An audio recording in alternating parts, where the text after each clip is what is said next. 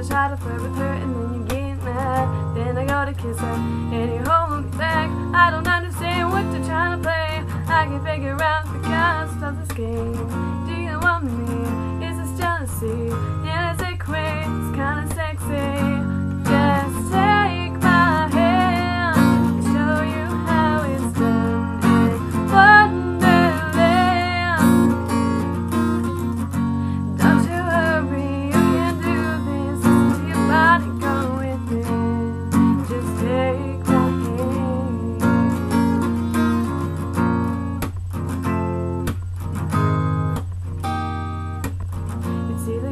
You nothing, baby, right now. I got plenty other girls hanging around. Why don't you just come home with me? You're making this harder than it has to be.